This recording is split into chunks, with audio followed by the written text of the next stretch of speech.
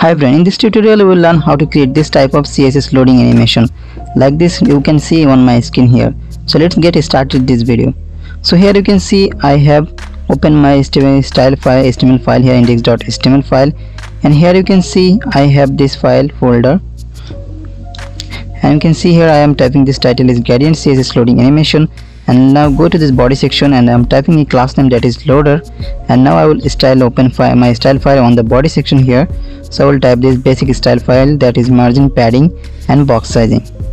So after adding this. So now we'll copy this body section here. And now we'll open this body section. Now we'll add this display flex and justify content center align item center. And we will add for this item here align item. We will add this now for the main height so it will be vertically center our element here. And I will add this background that is black color like this. You can see a plain black color here. And I will copy this class name loader. So it input this class name here. So loading class name and now we'll type this position relative. And here we'll add this width and height. For this equal for width and height is I will add this equal sizes for this 150 pixel and now we'll add for this here we will add this border radius. That will be 50 percent. So it will be a circle. And here i will testing adding a testing background. So i'm just showing you that it's working or not. So you can see the white background color. And now we'll change this color variant. Here we will add a linear gradient color. So let's add this linear gradient color. Here this it will be 45 degree transparent. And so i have mistake there. So let's type this again the transparent. And transparent 40 percent and this color code. Hashtag ff0560 so this is our color code and you can see here this type of circle here. So now let's copy this class name again this loader class name and type here and we will add a before class here. Before adding before we have to add a margin section on the loading class. So this loader class and we have added this margin 0 and 30 pixel. And now we'll add this loading before and this section will add a content box and now we'll add this position is absolute. So now we'll add this top left bottom and right. So we'll add this total this exactly i want to make this space from the top bottom left and right. So that will be 10 pixel. And here i'm typing this background the same color that is black. So you can see like this. So now we'll add a border radius here. So let's add this. The border radius will be 50 percent. So it will be a circle. So you can see there. So now let's copy this full item here or we can copy this and paste this full item like this. And just change the values before and here we will add this after.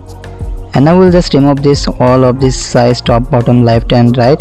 So all will be zero here because we want to make this one side up and one side down. So it will be exact same places. So you can see here like this. So now we have to add a z index here. So this color code first we will make it here this copy here. And now we'll add a z index so you can see that background is after option is showing here. So we'll make this after option is the blur layer before after this after will be showing this before selection here. So that's why we added this before z index 2 and this after is z index 1 and here we'll add this filter below. So that will be a good effect on this outside. So you can see like this and now we'll add a animation property here. On this loading say class here we'll add this animation loader and it will be 0.5 seconds so I will type the 0.5 second and linear infinite.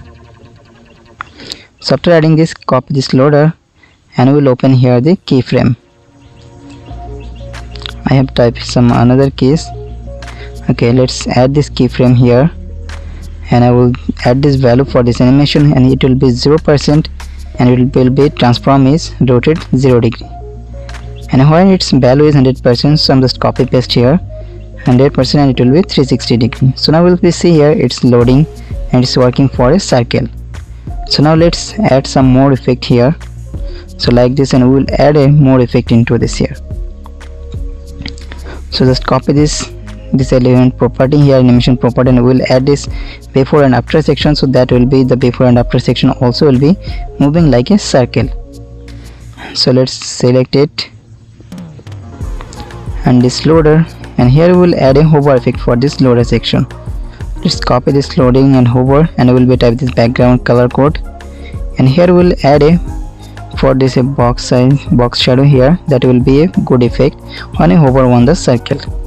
So let's add this box shadow and here we'll type this border radius 50 percent. So it will be circle and you can see when we hover on it it will be good full of this light color and it will be a box shadow is showing here this good effect here so now let's go to here this section here this animation property and we will hide this here. Now you can see like this. Okay. Now let's go to this animation property and we'll add a filter. For it will be colorful. So we'll make it this 360 color effect here. So we'll just filter hue rotate and 0 degree and 360 degree. So you can see that a lot of color is showing here. This the hue rotate color is almost showing here. So you can see like this so this hour is almost everything is completed here.